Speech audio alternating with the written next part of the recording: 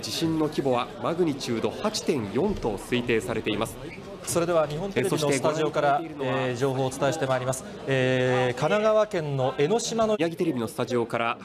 午後2時46分ごろに発生した地震についてお伝えします、えー、これは先ほど七ヶ浜町で第1波の津波が到達した時の映像です、えー、第1波の津波が七ヶ浜町で、えー、確認された時の映像です、えー、これは午後。高さは大丈夫だと思うんですが念のためこれはもう少し高台に上がった方がいいかもしれません。お伝えします。日本テレビから情報をお伝えしてまいります。えー、間もなく、えー、総理官邸で、えー、菅総理大臣の予想となっています。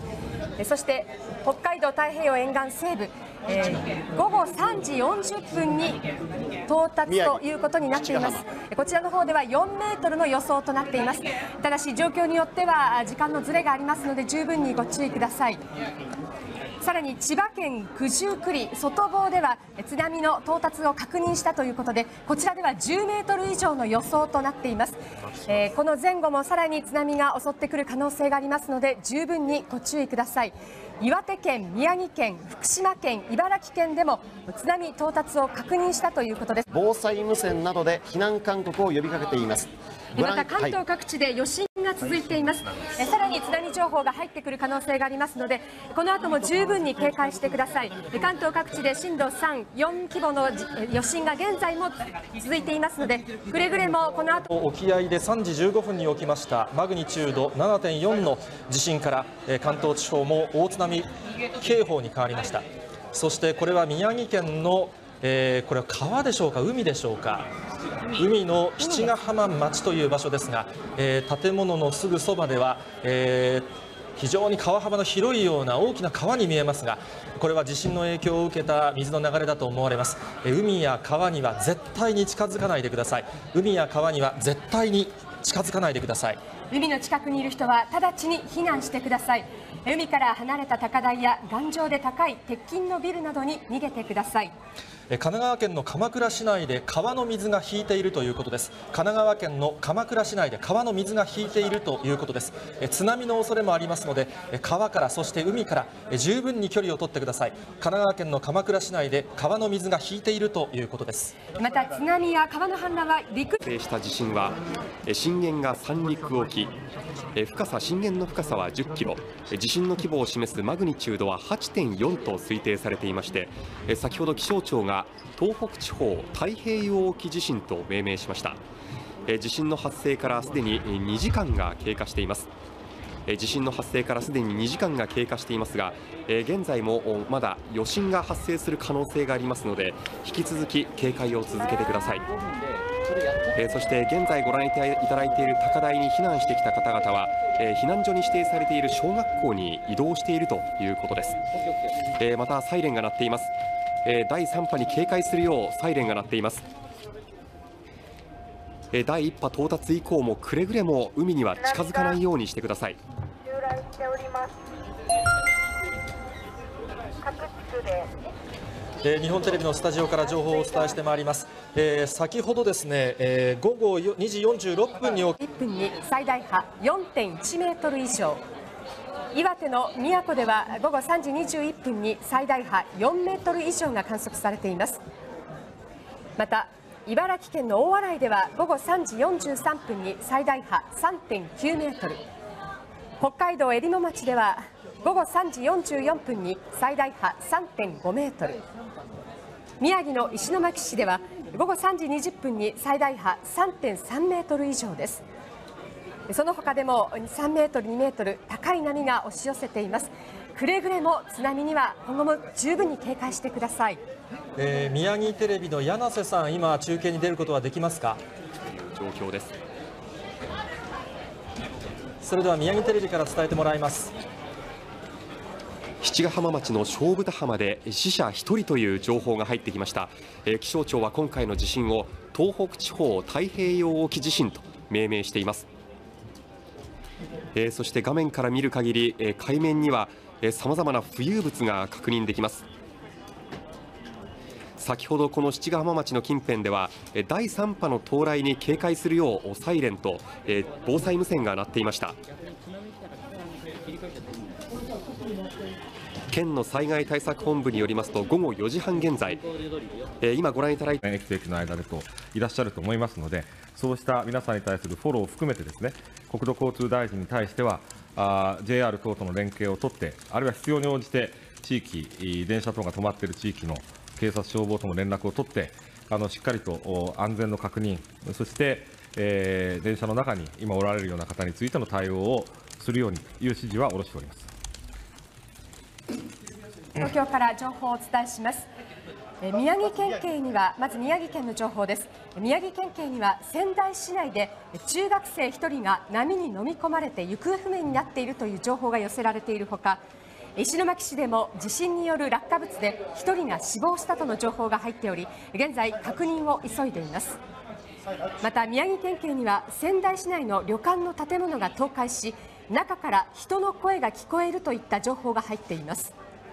また沿岸部の都市ではスーパーの屋上に避難した大勢の人が取り残されているという情報や渡り町の防波堤にも警察官や住民が取り残されているとの情報が入っています。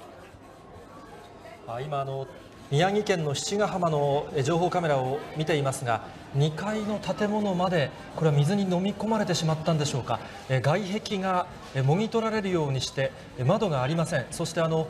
その隙間から向こうの川の流れ、海の流れを見ることはできます、非常に高い津波が襲った可能性もあります。続いて岩手県の情報です。山田町の中心市街地は全域が水没しているということです。え10人が屋根の上で救助を待っているということです。家屋が今流れています。え町内数カ所で火災も発生しているということです。岩手県大船渡市小友町の赤崎地区では全域が水没しているということです。また都内の被害状況です警視庁と東京消防庁によります。地震が想定されます、ですから歩いてこれから帰宅される方、えーまずですね、えとにかく広い道路を歩いてください。広い道路を歩く。はい、でというのは、はい。その余震で落下物、ガラスとか看板、これが落ちてくる可能性がありますから、はい。とにかく広い道路の真ん中あたりを、はい。とにかく歩いて帰る、え。それから、えーたくさんの方が一時にこれから帰宅すると思いますから、は慌てないことですね。えで自分の家がどっちの方向にあるのか、はい。北の方か南の方か大体でいいですから、はい。その感覚だけを持ちながらは歩いてください、あの一つお伺いしたいだと思います。そうですか、はい。それはあの自分の家が一軒家であるとか、はいえー少しあのひびが入っているというような状況である場合にはどうしたらいいでしょうか？もう目に見えてですねその被害があるような、あー建物であれば、はいこれはもうできるだけ入らないでください。わかりました、はいえー今、消防などに入りました連絡によりますと、岩手県久慈市で津波で流され、1人が死亡したということです。岩手県久慈市で津波で流され、1人が死亡したということです。でもしですね、帰る家がちょっと不安だな、安全ではないなと判断した場合には、どこに避難をしたらいいでしょうか？えー、とそれは、えーこれから多分避難所をですね、はい。開設する自治体が出てくると思うんですね。はい。ですからその避難所がが開設されてればその避難所へ、それからそういうものがなければ、はいやはりあの新しい鉄筋コンクリートの建物はいに入るようにしてください。わかりました。もう一度確認しますが、歩いて家に帰る人はなるべく広い道路を歩く。はいしかも真ん中がいいですか。はい、できるだけ建物から離れてほしいんですね。わかりました、はいそして携帯電話会社などが提供をします災害伝言板を利用する。はい、そこに自分が今どの辺りを歩いて帰ろうとしているのかといはいう情報を家族に伝えてあげてください。えー先ほど2分あ、えーこれは宮城県の七ヶ浜松島のあたりですが、えー高い波がしぶきを上げまして陸地に向かっています画面の右下は、えーあの松島で有名な、えー松の並木でしょうか、えー高い波が渡辺さん浸水してますね。これはあのー津波と見ていいんでしょあうか？もう津波ですね。で今回これだけ余震が続いてますから、はい。津波も幾重にも幾重にも今襲ってきてるんですね、はい。ですからそれが襲ってくる波引く波それがさらにまた大きな波になって陸上に向かってる、はい。非常に複雑な今動きをしていると思います。渡辺さん、画面の左の方からは流れがありまして、そして右からは波の高いはい。状況が、えー見受けられるんですが、はい。これは戻ってくる水の力も影響しているということでしょうか？通りだと思い。ます。手前側が今戻ってる海の方へ向かって流れてる、でさらにその向こう側に今波頭を立ててこちらに襲ってきてますね。これがえ。あの向かってくる波ですね、えー海や川からはえー離れてください、海や川からは離れてください、絶対に近づかないでください、えー海や川からは離れてください、絶対に近づかないでください、えー宮城県の七ヶ浜です、えー現在の様子です、画面の中央には、えー船が1艘浮かんでいます、えー画面の中央には船が1艘浮かんでいます、えー海から陸地に向かって、えー津波が押し寄せています、えー海や川には絶対に近づかないでください、海や川には絶対に近づかないでください、えー津波が陸地に向かって近づいています、えーそして今、画面の中央から右に向かって船が1艘、えー浮かんでいます。えー津波が近づいています。海や川からは離れてください。絶対に近づかないでください、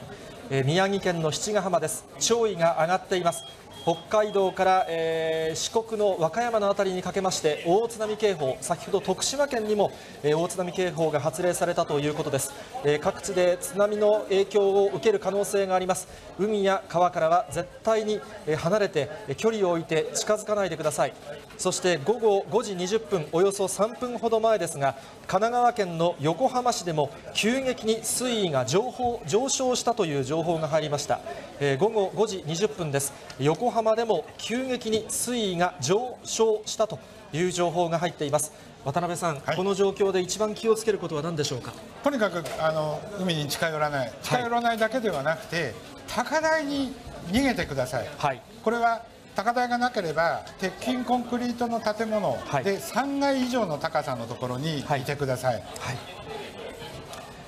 えー現在の宮城県の七ヶ浜、えー風光明媚な松島で有名な七ヶ浜の、えー現在の情報カメラの映像です、えー津波が陸地に向かってえー波しぶきを上げて近づいています、えー大津波警報が北海道からえ四国の徳島に渡る太平洋沿岸、えーピンク色のラインを敷いたところでありますが太平洋の沿岸に大津波警報です、えー戻る波そして寄せる波で高い、えー津波が、えー出来上がっています、えー川や海には絶対に近づかないでください。午後5時20分神奈川県の横浜市でも急激に水位の情報があ上昇があったという情報が入りました。えーすあ今また陸地に近づいてその渡辺さん陸地に近づけば近づくほどあの高さは増してい増していくんですね。はい。はい。で戻る波と寄せる波が合わさって、はい。また波が高くなるんですね。今この現象がまさによ帰る波と寄せる波、それが今入り混じってる状態です。えー宮城県の七ヶ浜の、えー現在の情報カメラです、えー先ほどから比べますと陸地に寄せていた高い波はその姿を消してはいますが渡辺さん、この後寄せた水が海に戻るときがまた危険なんですね。そうですねでこれからまた余震がありますから、はい。その余震によって発生するな津波も想定ししておかなければいけないと思います。えーそれではえー NTT 東日本の電話関係の伝言板について伝えてもらいます。NTT 東日本によりますと東京、茨城、栃木、福島、山形、岩手、宮城方面への通話が集中しているため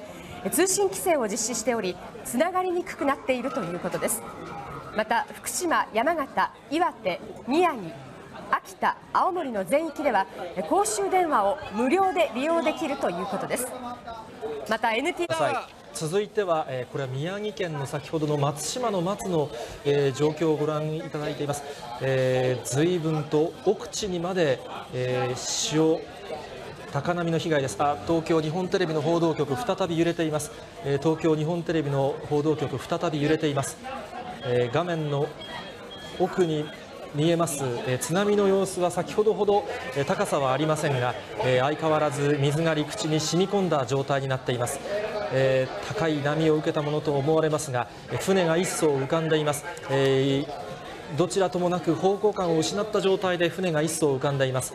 え建物からそして少し離れたこれは木が倒れています、え波の力の影響の大きさを物語っています。北海道から、えー四国の徳島にかけた太平洋沿岸では、えー大津波警報が発令されています。大津波警報が発令されておりますので、えー海川には絶対に近づかないでください。海や川には絶対に近づかないでください。それではこの地震による被害をまとめました。